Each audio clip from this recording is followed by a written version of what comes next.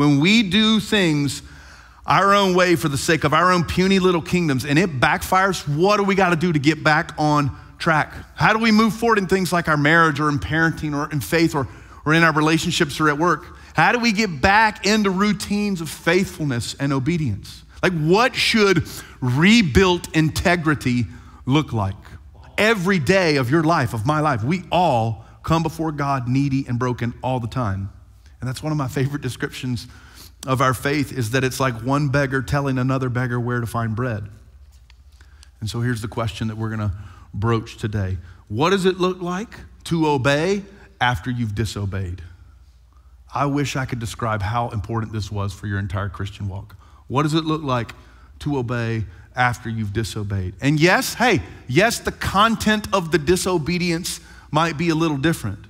But we still have to think about what ongoing faithfulness looks like after we botch it, after we fall short. Listen, please get it. In God's hands, we believe that we are not defined by the worst thing that we've ever done. Amen, we all say. But then you got to go, well, what does that actually look like in the practical? Like when we mess up, how do we get back on track? And thankfully, we're not in the dark. Holy Scripture will help us out with this in 2 Samuel chapter 11. It's going to help us get an answer to our question. And here's what I don't want to do I don't want to rush to just some abstract principles to answer that question. Rather, I want us to wade a little more gradually into this story. And in doing so, I believe that the contours of obedience and disobedience will be more clearly seen if we patiently go through this story once again. I think we'll have a fuller vision of, of an answer to our question. So let's do a slower read through of this with obedience now as our interpretive key. Verse 1, look at verse 1. In the spring of year, when kings go to battle, last line of verse 1, David stayed in Jerusalem. So the end of verse 1, our guy's already disobeying. And if we're reading David's story rightly, he's been growing in grace like we've talked about for the past couple of weeks. A lot more military victories, a lot more justice and peace for the people. Like he's growing in who he is and who God's called him to be and what God's called him to do. So, look, I don't think it's wrong to read verse one with that kind of momentum that we've been talking about. And if verse one is about disobedience and the momentum is all about grace, then guess what that means? It means that disobedience always presumes on grace. Disobedience always presumes on grace. How do I know that? This is what David thought. Dude, they don't need me out of war. You know why? I'm on a winning streak, baby. I don't need me. I'm good. I'm unstoppable. Have you read the last five chapters? You can't touch this, right? So I'm just going to stay in Jerusalem. I'm just going to stay here. It's okay. It's fine. Well, I mean, yes, it's, it's all God, of course. Praise the Lord, brother. Yeah, yeah, yeah. But yeah, they don't need me. I'm going to stay here. And friends, I will tell you right now when you think you are entitled to grace, you're not thinking about grace anymore. That's something different. Presumption kills obedience. So, what does David do with all his newly found free time? Well, he takes a walk on his massive palace roof porch out there, the center of the city, and he sees a woman bathing. And the original language of verse 2, it says that she was pleasing to the eyes. Pleasing to the eyes. Now go all the way down to verse 27 in your chapter. Look at verse 27. Last line of the whole chapter, verse 27. It says, The thing displeased Yahweh. And the Hebrew of that last line is that it was not pleasing in the eyes of Yahweh. And so this whole episode begins and ends the same way with what is pleasing to the eyes. And what I'm telling you is that, you know what that means? That God is not in this. In fact, you ready for this? Go ahead and read the rest of 1 2 Samuel. You know what you'll find? God everywhere. The only time God is mentioned in this whole chapter is the last word of the whole chapter. And this means that true obedience is when God is your primary reference point and standard. That is true, true north obedience. And that also means that disobedience is when you start to dilute God's standards and desires with your own standards and desires. That is what is slowly happening here, like a patient leaky faucet. So, what does David do? Verse 4 he tells his servants to bring her to him, and then he sleeps with her, and then she gets pregnant. And here's where I want to pause just for a second. Um, if you're looking at verses two through five in your Bible, which we just covered, you know that there's a lot of details that are left out. Some of them you're like, how in the world did it happen? Some of it is probably good that we don't have it. But I tell you this right now, in and around and through and above all those details, just for a second, um, if you have ever found yourself in Bathsheba's place, like if you have ever felt forced or coerced or preyed upon into sexual behavior, please hear me clearly. It is not okay. It is sin. It is evil, even if you're telling yourself a different story. It is not God's design, it is evil. And if that's your experience, my heart aches and breaks for you. Seriously, brother or sister, if that's been part of your story, I'm so, so sorry. And if that's something that you need to process and work through continually, um, we have incredible godly staff that can talk to you. We have a partnership with incredible godly licensed therapists in the area we'd love to connect you with. And so if that's the case, we'd love to, to help you, help you out there. But for David here, what we need to do is we need to start to recognize a progression. David, remember, he saw something that was good to the eyes and he took it. That's a slight progression. And guess what that is? That's Adam and Eve. That's in Genesis. They saw that the fruit was good to the eyes and they took it from the tree, both falling from royalty. But there's another progression here. And here's how I know there's a progression. Because none of us thinks anything bad about verse 1 if we just have verse 1. Dude, so what? He stayed in Jerusalem. Chill out, Thompson. you just stay, just war, Jerusalem. Just stayed in Jerusalem. No big deal, no big sin. But that's the snowball at the top of the hill. Because you know what happens next? Then he looks at her in lust. And we aren't told, but maybe he ends up like doing this triangulated deception with his servants. Like, what does he say to the servants to go get her? I don't know. We're not told. But perhaps there's triangulated deception there and why he needs Bathsheba to be brought to him. And then he sleeps with her, and now it's way more than a snowball and it's gaining speed. And we know he's getting ready to have her husband executed. And by the time that happens, it is an absolute avalanche. And here's the scary point Disobedience in the small things leads to disobedience in the big things. That's what's happening right here, right before our eyes. You might not think it's not that big of a deal, but disobedience in the small things leads to disobedience in the big things. Here's the deal. He could have seen her naked, walk, taking a little walk on his, on his roof palace uh, overlook thing there. He could have seen her naked, lusted, gone inside and went, Mephibosheth, bro, sit down. I, we got to talk, dude. I need to confess some sin to you, man. I got to. He could have done that. that would have not been hard. He could have done that. But he didn't. He could have done that. You know why? Because things like confession and repentance stop it from becoming an avalanche. But alas, David did not. And I tell you right now, if you do not stop disobedience, you feed it. But again, David doesn't confess. Instead, what does he do? you get two, two options at this juncture fork in the road. You get two options confess or cover it up. David covers it up, and his version of fig leaves is ugly, big time ugly. He sends a messenger to Joab, the army commander, and he tells him to send Uriah home, send Bathsheba's husband home. And obviously, the logic here is what guy coming home from war doesn't want to go see his wife and sleep with his wife? And then when she has a baby, David can be like, hey, way to go, baby's early. Like that's, that's the plan. David can do that. But his plan mega backfires, and Uriah, oh man, he sleeps on David's front porch right outside the palace instead of go home to, go home to his own house and, and his own wife. And when David asks him about it, listen to Uriah's response. The deep and painful irony of this response is unbelievable. So David's asking Uriah, Bro, why didn't you go home last night? Verse 11. Look at what Uriah says. Verse 11. Look. Uriah said to David, the ark and Israel and Judah dwell in booths, and my lord Joab and the servants of my lord are camping in the open field. Shall I then go to my house and eat and drink and lie with my wife? As you live and as your soul lives, I will not do this thing. Dude, you have to feel the absolute sting and irony of this. Dude, aside from the fact that Uriah, look, Uriah the Hittite, he's a Hittite. He's not even from, descended from Father Abraham. He's a Gentile no name. And here he is being more faithful and more obedient than King David, the guy whose name is mentioned more than anybody else in the whole Bible.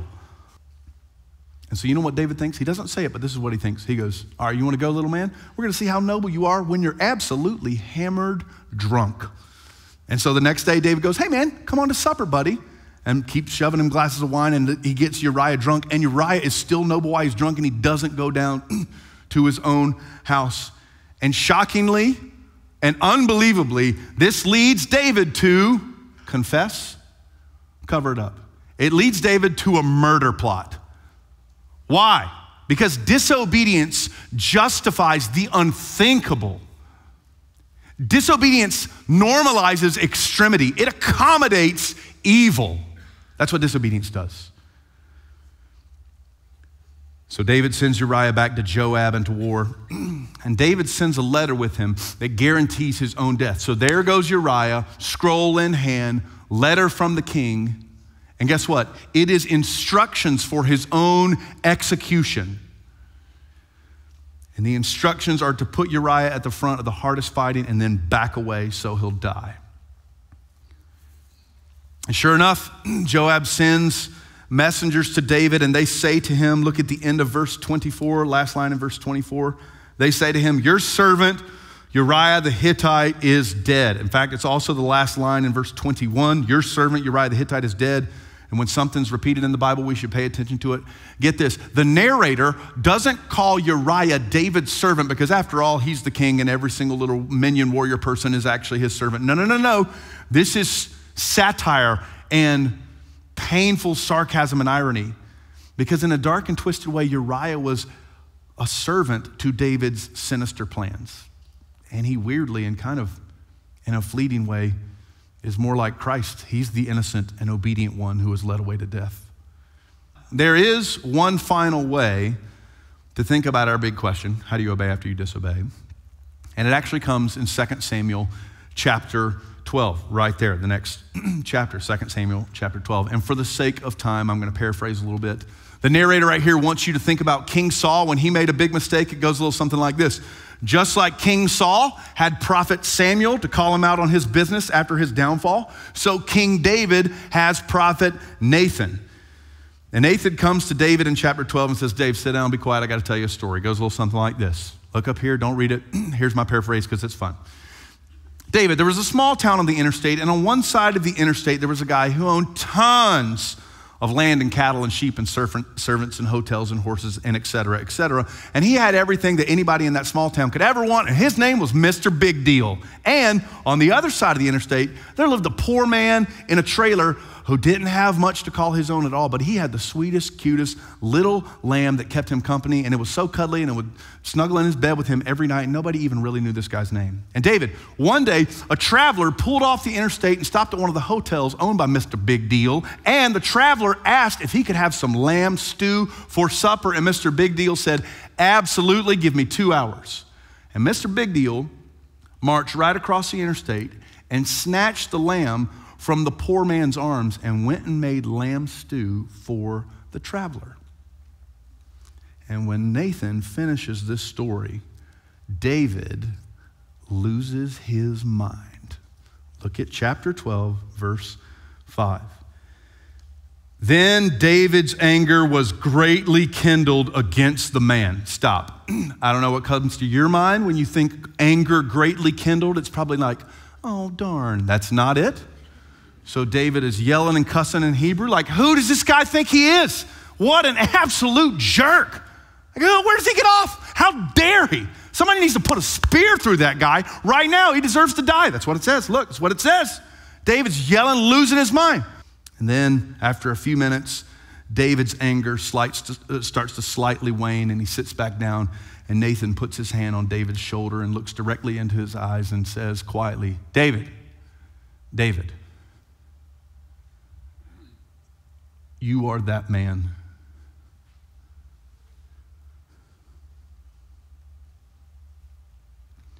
I tell you the truth that anybody who looks at a woman with lust in his heart has already committed adultery with her.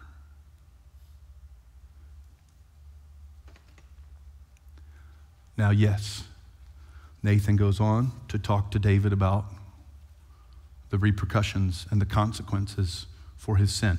But Prophet Nathan also does something here that actually kind of bothers me a little bit. I want you to see it for yourself. You can go read the rest of the stuff later, but look down in chapter 12, verse 13. Look at verse 13. David says to Nathan, I have sinned against the Lord. Pause. Again, the narrator wants us to think back to Saul. When prophet Samuel came to King Saul when he messed it up, messed up big time in 1 Samuel 15. You remember what Saul says? Anybody remember what Saul says? He goes, Oh, oh, yeah, uh, the people made me do it. It was their fault. They did it. He does the blame thing. And so, on one level, we, David's different. He is different. He actually kind of owns it. He says, I have sinned against Yahweh. And here's the thing that Nathan does that actually kind of bothers me. Look at the last half of verse 13. Look, Nathan goes, You're forgiven. Wait, what? Nate, hey, Nathan, excuse me, sir, you got a permit for that? Like, forgiven, forgiven? How, how, Nathan, you just can't go pronouncing absolution just like that. Like, no, who gives you the right, Nathan, to be like, yes, God has put away your sin. You are forgiven, forgiven. Because Nathan knows and he remembers something that David has all but forgotten. The grace that David presumed upon throughout all of chapter 11, Nathan has not forgotten. Back in chapter 7, Yahweh made unbreakable covenant promises to David. God unconditionally committed himself to David and to David's family. And that's all about grace. And how do I know that it's all about grace? Because about an hour or two after this conversation with Nathan, David goes away and he opens up his prayer journal and he begins to weep and he starts to write and pray. And that prayer that he sat down to write became a song, and we call it Psalm 51. And it starts like this Be gracious to me, O God. Be gracious to me according to your loving kindness. Have compassion on me according to your steadfast love. That's how I know it's all about grace. And this is the ultimate way that we learn to obey after we've disobeyed. We have to call to mind every day that the rock solid foundation of our relationship with God is not our performance, but His unfailing love and grace. That is rock solid foundation of it. It is grace and not our track record that is ground zero before God. In fact, hey, in God's family, your achievements and your accolades and your trophies and your good deeds aren't the most significant thing about you. And conversely, in God's family, your absolute worst failures and sins and wrongdoings aren't the things that define you the most. Rather, you are a part of His family by grace and will be sustained by grace if you're trusting Him alone for real and eternal life. And the fact that you are His is the most important and the truest thing about you. And when we remember this grace, it's not just that past disobedience is wiped clean. This grace is also meant to empower future obedience and future faithfulness. And dude, I love this so, so much. Anybody know the first line in the entire New Testament? It goes a little something like this. This is a story about Jesus, the son of David. That's the first line in the entire New Testament because Jesus is the final fulfillment of everything that God promised to David in spite of David. Jesus is all of God's mercy and forgiveness with skin on, who has come from heaven to earth to pour out endless grace for those who are thirsty. And oh man, I love how the Apostle Paul talks about this in Philippians chapter 2. He says that Jesus humbled himself by becoming obedient to the point of death, even death on a cross. Meaning, Jesus perfectly obeyed his Father, even though it cost him his life. He was willingly buried under the avalanche of sin and death that we let leak into God's good world. And in that very act of obedience at the cross, he took all of our disobedience into himself. Because of Jesus' perfect obedience in the place of our disobedience, God the Father can now look at us as though we have obeyed perfectly. If we're believing in Jesus for life and salvation, there is a very real way in which the Father sees us under the banner of His Son's perfect faithfulness. And that is now our right standing before God. And, oh, this is so good. It doesn't stop there. Jesus then gives us the Holy Spirit to now go obey in practice what we are in position before the Father. And now we can live out Jesus' perfect obedience. And this whole thing is grace upon grace upon grace upon grace upon grace upon grace. And it is theologically and climactically why Nathan can look at David and say, The Lord has put away your sin. Because of Jesus, we can flip the whole script. Real obedience doesn't presume, but rather cherishes grace. Real obedience has God and His gospel as its ultimate standard and reference point. Now, obedience in the small things can lead to obedience in the big things.